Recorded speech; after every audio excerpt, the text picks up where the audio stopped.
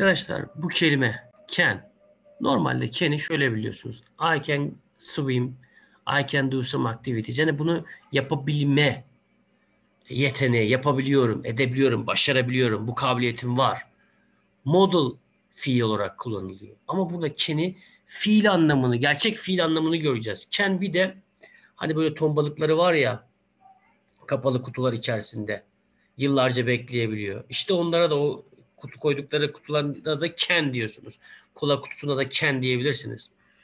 Bakın can, can diyor. Şimdi bakın bir yiyeceği veya içeceği kapalı bir metal e, kutunun içine koyma ve orada koruma.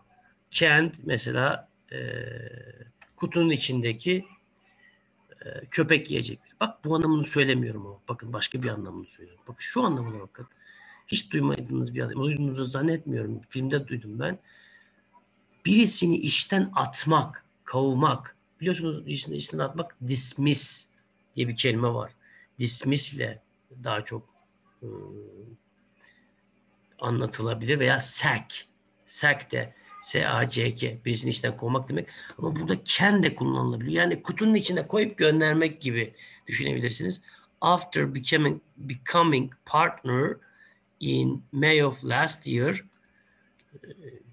son yılın son yıl last year en son yılın bu yılın Mayıs ayında e, partner olduktan sonra she was canned five months later partneri olmuş ama ne olmuş arkadaşlar? 5 ay sonra kovulmuş. She, she was canned.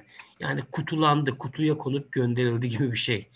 Yani bunu yeni öğrendim. İlginç bir e, kullanım kullanabilirsiniz.